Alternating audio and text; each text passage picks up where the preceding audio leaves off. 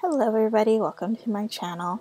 Um, today I thought I would just do a short video uh, sharing with you some of the mockup files that I that I use to create um, some of the thumbnails on my channel.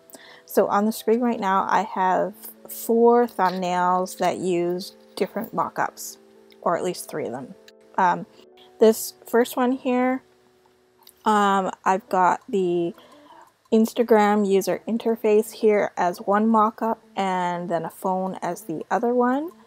Um, so, and then right here for this other one, I've got the four different bags. And then the last one is this MacBook Pro mockup. So I will show you where I got each of those.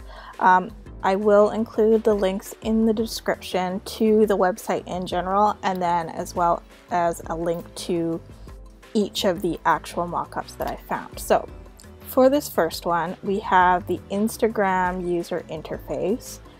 And this is an older file that I've had for a little bit, but um, it is one that I actually found on Behance.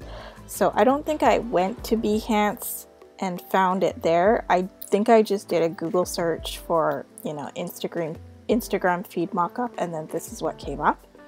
So as you can see, it is a 2017 one and I have since found a newer mockup to use um, for some of my stuff um, that is about a 2019 version, but at the time when I made the thumbnail, this is what I had and um, it worked good enough for what I was trying to show. So what I didn't like about this is that the profile screen didn't include those um, the stories highlights kind of above the the grid. So that's what I looked for in a newer version was something that showed that grid on the profile screen. For the iPhone itself I went to one of my go-to resources which is graphicburger.com and I found an iPhone 6 mock-up that had these three different angles.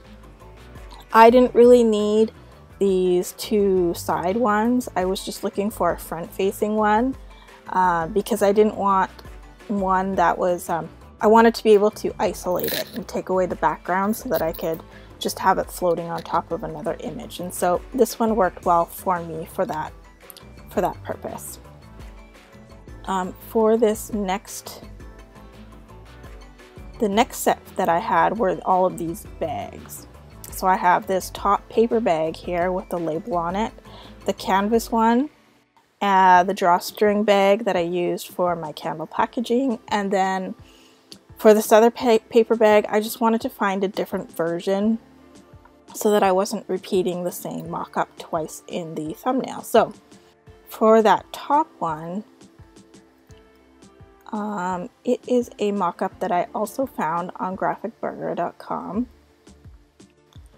Um, so it, it's pretty it's pretty basic. It worked well for me though. For the canvas tote bag, um, I'm sure it's not the first time you've come across this, but it's also one that I found on graphicburger.com.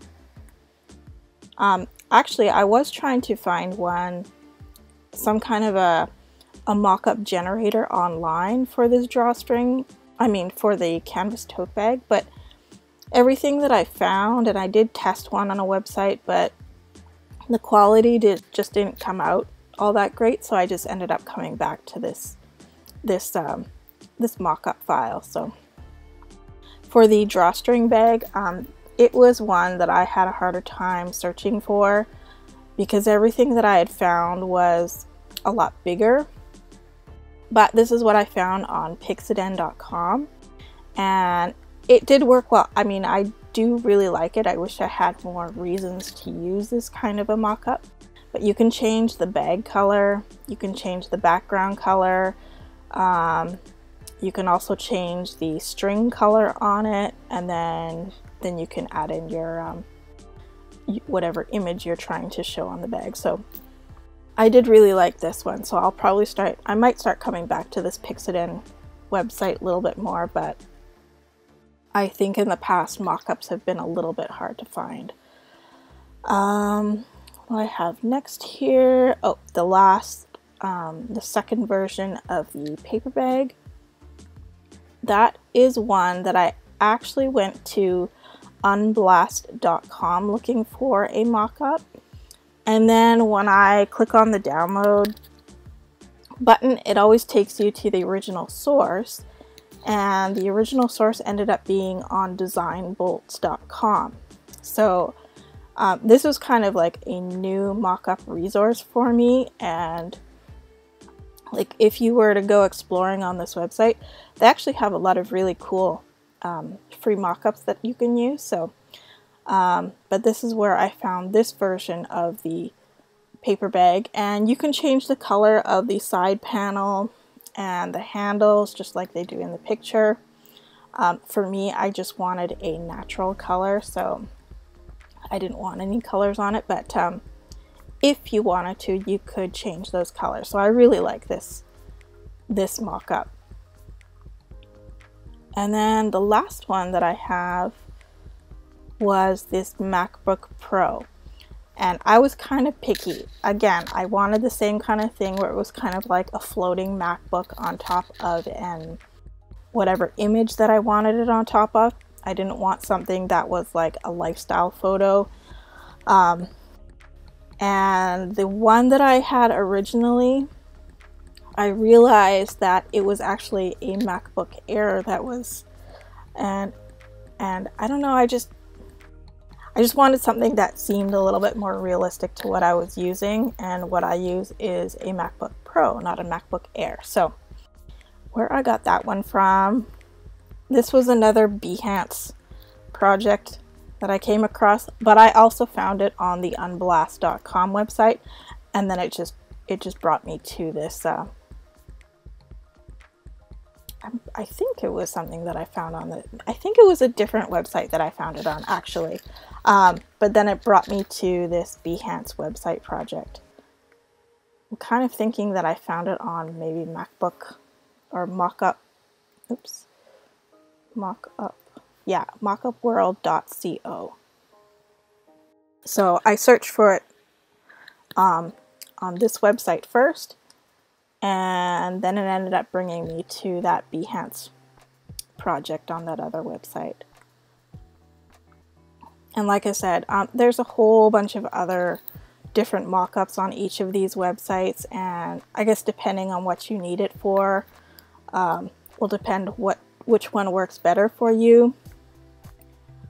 And like I said, graphicburger.com is probably one of my go-to places to go to, but I also have been visiting the unblast.com website a little bit more because they also have uh, a lot of resources. They'll actually, for some of them, they'll actually link back to graphicburger.com. So anyways, I think that is it for all of the mock-ups that I've done. Um, in terms of what's been included in my video thumbnails and videos. Um, just another quick little note about some of the stock footage and stock photos that I use. I know a lot of people go to unsplash.com to find some of their stock photos, but for me, I've been going to pexels.com a little bit more to find things. Um, they have um, stock video, like um, I'm just going to type in MacBook again, um, just, just to kind of show you what there is. But uh, you can search for photos on this website, but you can also look for videos. And so when I'm showing some of the, like the Holly and Pine intro and then the video animations, uh, I came to this website to look for some stock footage to use and you can even search by orientation so you can come here and choose whether or not it's just horizontal which is what I wanted at the time um, for this. Um, but you can also search for vertical ones if you're trying to do some kind of a mock-up for an Instagram stories or Instagram or TikTok Instagram reels kind of a thing um, or even just the square ones but I'm not too sure how many square ones there are. But um, so that's kind of neat. So that's why I kind of like this website a little bit more. Um, anyways, those are all my resources. They're all free. So if you do have any other kind of places that you go to, uh, please feel free to comment below and let me know because I'm always looking for new places to find uh, free mock-ups for my things. So um, anyways, that's it for today's video and I hope you enjoyed it and we'll see you next week.